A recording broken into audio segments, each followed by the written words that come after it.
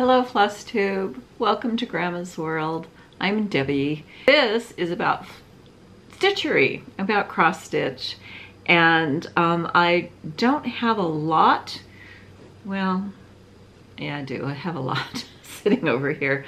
I thought I didn't, but when I started gathering it together, it kind of grew.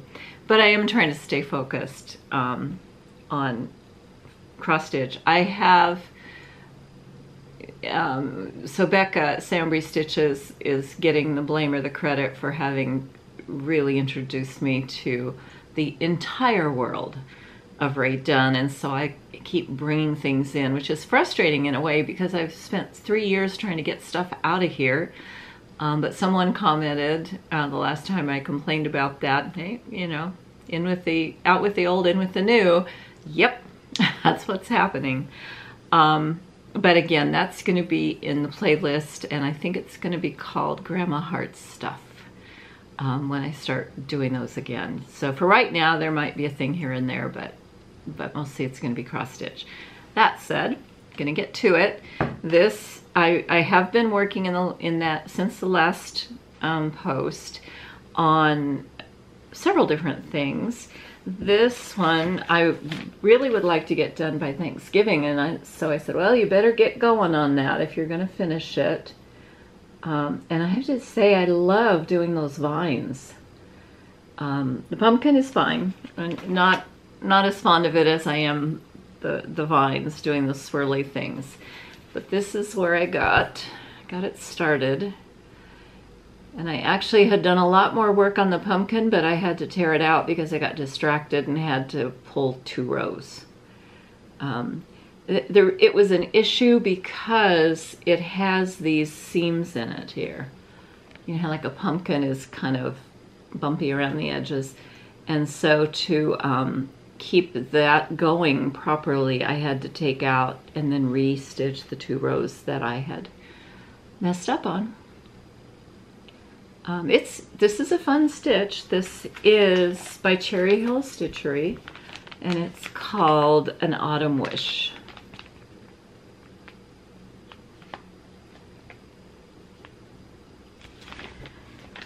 I did some on that. I did not, I think I have done a little bit on a Stitch for Sweet Freedom. Um, Lindy Stitches, Stephanie Webb. Oops.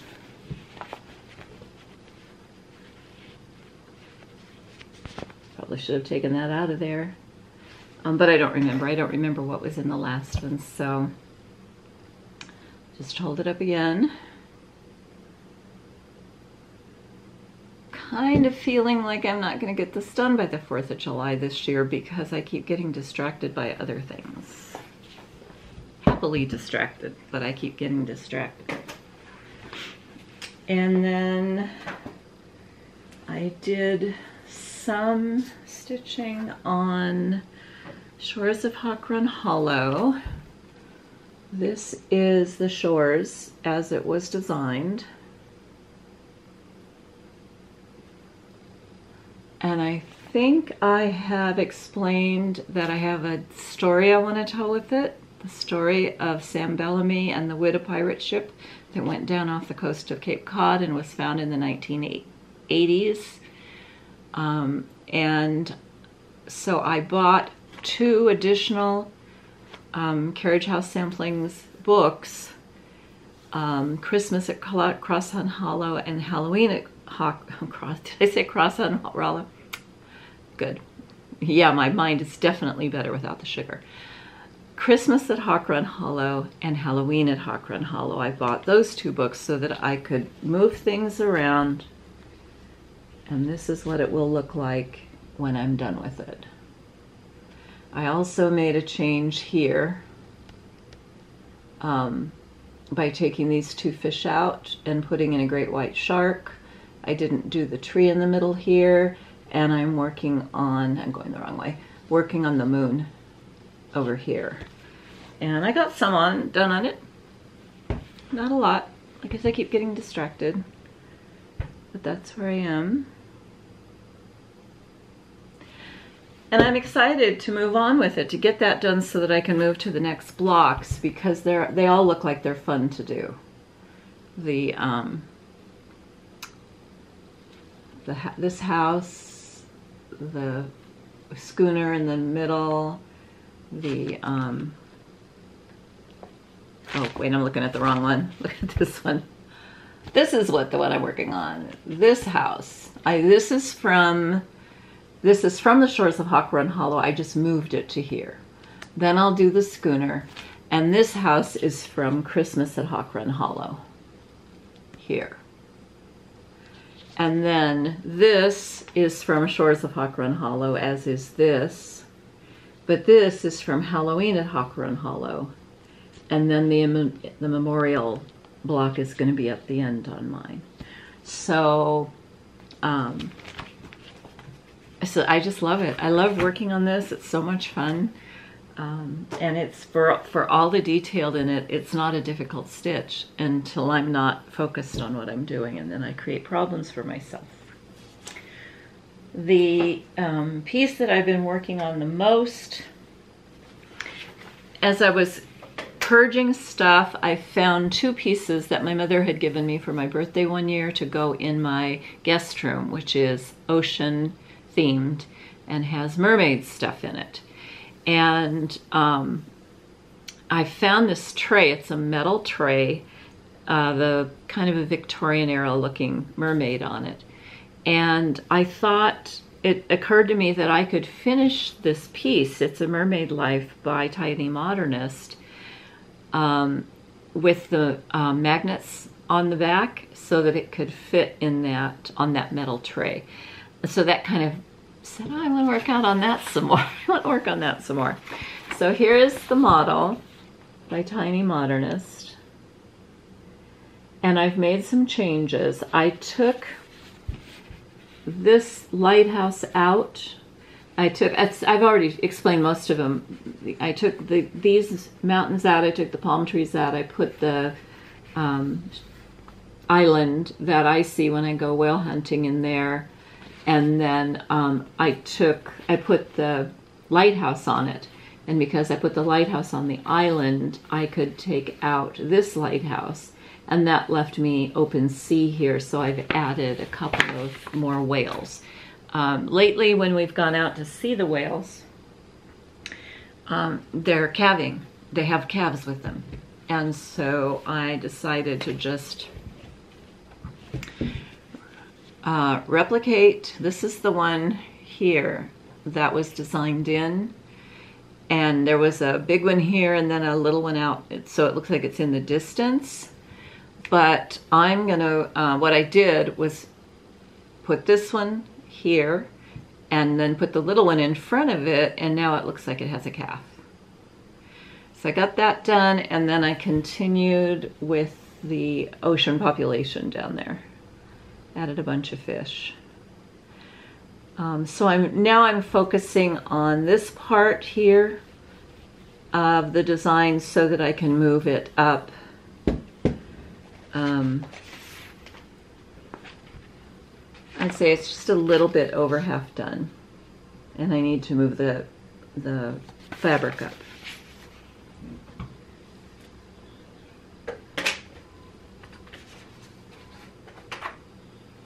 And that's it as far as accomplishments. And to do a little bit of haul, I'm really, believe it or not, I'm trying to cut back on haul. Partly because I have so much, I have so many projects to do, and partly because I want to build up my savings again so that I can travel. And um, it's leaking out to stitchery shops faster than I can replace it. Um, I bought, and I think I showed this last time. Let's see where it is in the stack. I bought Sweet Land of Liberty from um, Cherry Hill Stitchery. And I ordered fabric from Vintage Needle Arts. Um, I think I showed this last time. I want to put it in a little house, a little patriotic looking house. And so I think if I do it on 20, that it will fit in there. And I didn't have any appropriate 20s, so I bought this one. Here's what I'm kind of aiming for.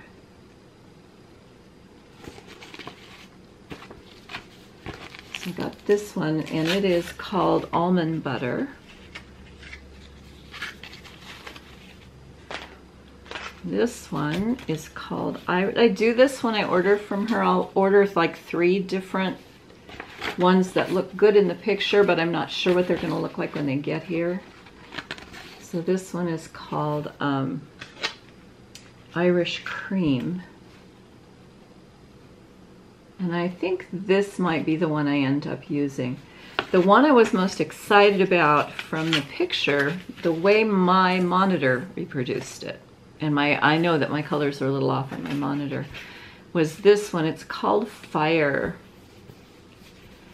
And um, what I liked about it, I thought it was more like this color with splotches of red in it. And then when it came here, it definitely isn't that.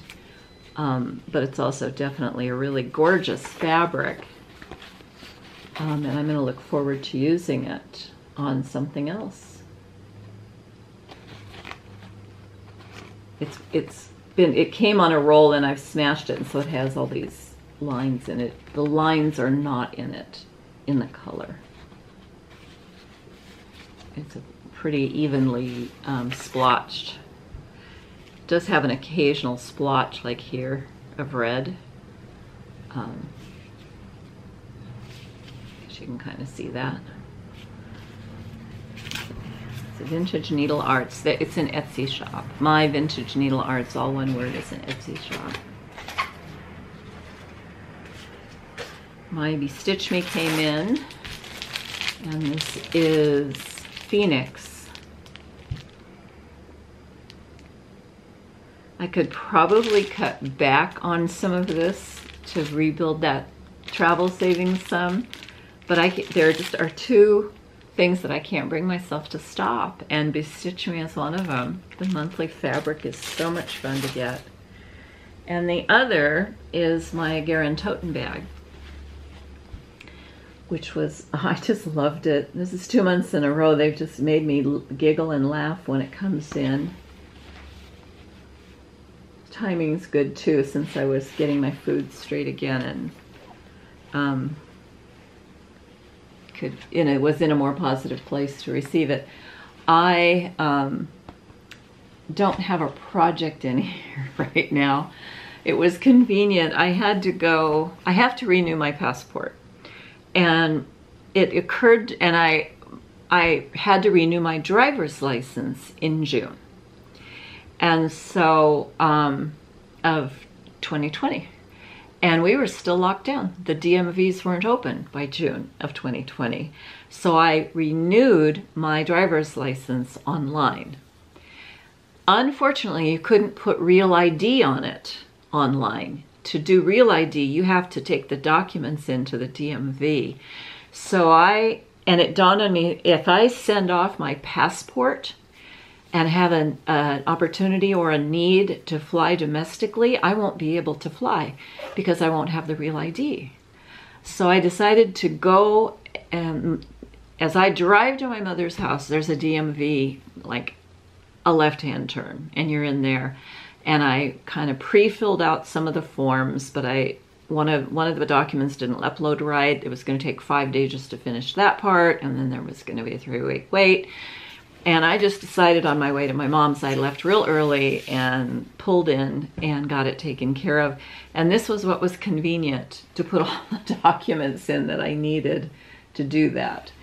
So now I can ship my, I went and had my um, passport photo taken. I loved my last passport, passport photo. Uh, it turned out, I know people don't really usually like their driver's license or their passport photos, but it turned out really nice. I looked halfway decent. I looked good, as a matter of fact, in it. This one, it's been 10 years, and man, I have aged in this one. Um, and I, so I have plenty of gray in my hair. And, but on the, the photo, the way they took it, first of all, she said, use a neutral expression. That was the best I could do. It's like my hair and skin and lips and everything are all the same color of gray. So kind of washed out, but there you go. At any rate, so that's what I used it for. It doesn't have a project in it yet. Um, I also bought, someone did this, someone on one of the groups I'm in posted this. It is like a hundred times cuter than this in person. The printing it out just kind of washes out the vibrancy of the colors. But once I saw the picture of it that they'd finished, I had to have it. Um, so I ordered that. And this is um, a Shannon Christine pattern. I also ordered, uh, I think it was either Stars and Stripes or something like that. One of the patriotic ones that I kind of had in my wish list from her when I did that. Um, I can't find it. So it'll show up as I keep plugging along in here, I'm sure. Um, I have a subscription to Readly. If you're not familiar with Readly, it is a like a clearinghouse for magazines. It's $9.99 a month and it has access to hundreds and hundreds of magazines and a lot of them are my favorites. Um, Birds in Bloom for gardening, I really enjoy that one and um, well, there are some quilting magazines in there too, but there are a lot, about a half dozen, I think, cross stitch magazines. They used to have Cross Stitch Crazy, which was my favorite cross stitch magazine, and Cross Stitch Crazy stopped publishing, or the, the company that does all those UK magazines stopped doing Cross Stitch Crazy. Um, but there's still plenty. Just Cross Stitch is on is one of the things they offer, and Cross Stitcher is one of the things they offer. The Just Cross Stitch is important because I think the last time I checked, they were still offering the 2016 year plus the special, um, the, the um, Christmas ornaments and the Halloweens. And that's the one that Priscilla and Chelsea's um, line that they collaborated with Kathy Haberman. That's the, the one that that's in. So all of those patterns are accessible through that service. Um, and I think they give you 30 days free at the beginning, um, but you'd have to check on that. Any rate, they um, the new some of the new cross stitch magazines are coming out, and I had to go look at just cross stitch, and had to have another one so I can print them off. You, um, I go through it on my iPad. I um, take a screenshot of each page that goes puts it in my photo gallery and from my photo gallery I can print them out on my uh, my Hewlett Packard um, printer that I have I bought because of um, their instant ink program um, uh, you can tell I'm really fighting to stay focused on this right now um, um, um it will send it. The, I, the iPad will use AirDrop to send the screenshot that is in my photo gallery over to my printer, which is a Wi-Fi printer. So, um, any rate, take me to the sea. Oh my gosh, did I fall in love with this one?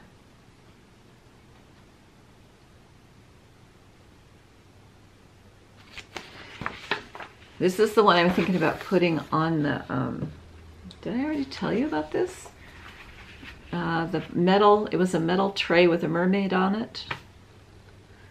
Can't wait to go back and listen to this again and tell you what story I said about that because it was this pad, I'm sorry, this chart that I got off of Readly, off of um, Just Cross Stitch, was what I thought I would put on there. I think I'm going to leave the sailboats off and just put the water and the whale.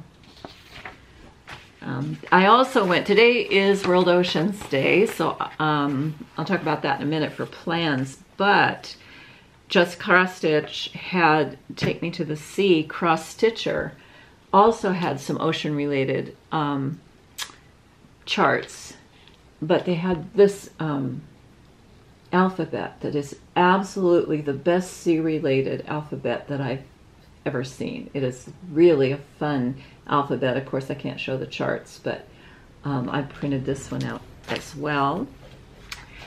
in other haul, I decided to check it out. I sent, I went to Annabelle's, Annabella's, excuse me, and ordered punch needle and primitive stitcher. And now I see what all the excitement is about. What a fabulous magazine. I wasn't inspired really by anything in here to put down what I'm working on now to get started on them. But there sure was a lot. Like here's this one.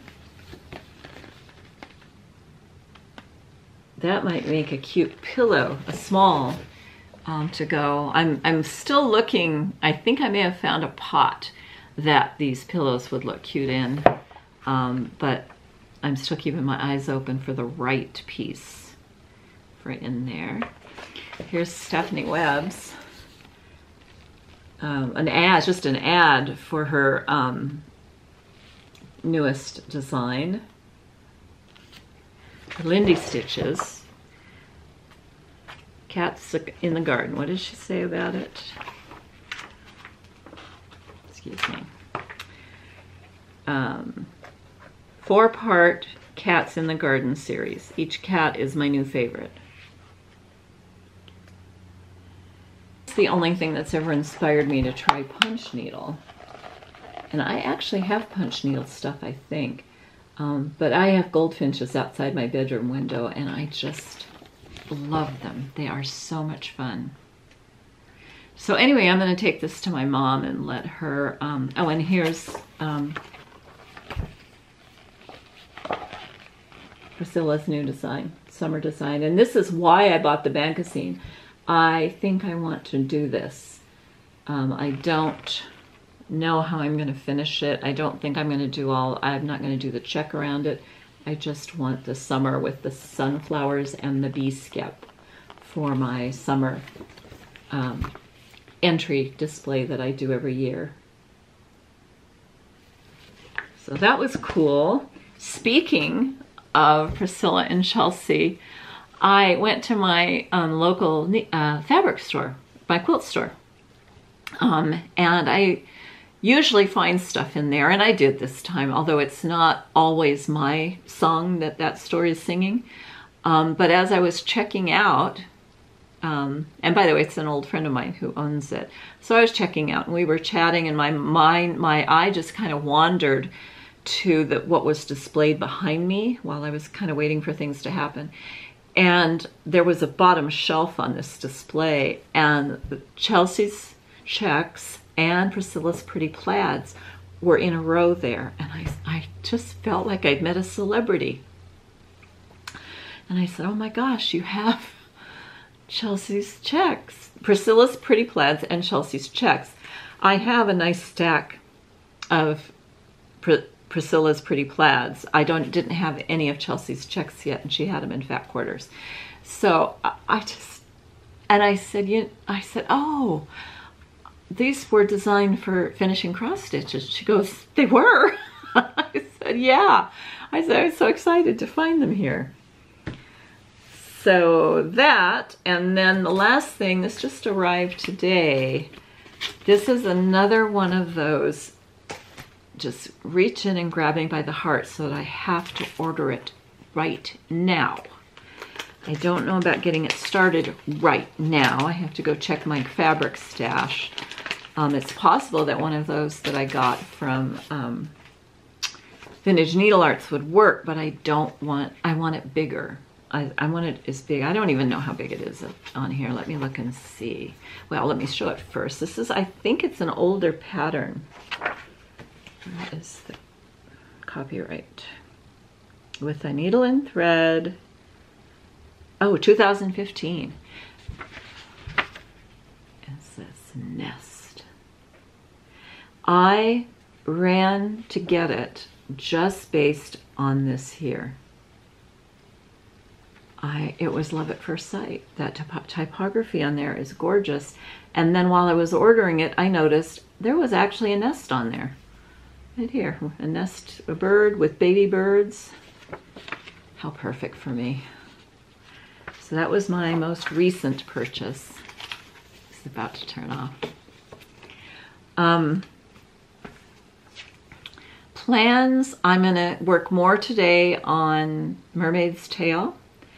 And then I will decide. I, I think I might get back to a Stitch for Sweet Freedom just to see if there's any possibility I could get it done by the 4th of July. But I have too many overlapping goals here to um, really make any commitments.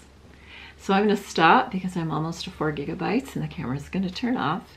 And um, hope you're having a wonderful summer. Um, mine is definitely on the upswing. I didn't tell you. Um, I'll say goodbye now and then I'll tell you. I took my car in for, for maintenance today. The last time I took it in for maintenance, we ended up doing $1,200 worth of repairs on it. Um, I had just paid it off and I had the money and I said, do it. I want this car really ready to be a my retirement car. And so today I took it back and the bid or the estimate was $127 and that's exactly what it came out. They didn't find anything else wrong. I just wanted oil change, filter, tire rotation, and check a few other things. And they the tires are fine, the battery's fine, everything is fine. And Mazda is such a fun place to just go sit. There's a movie on that I have to track down. It's called Now You See Me, and everybody was in that movie. Uh, I'd never heard of it. Um, and so now, yeah, I guess now I'm ready to stop. I'll see you in the see you next time. Bye.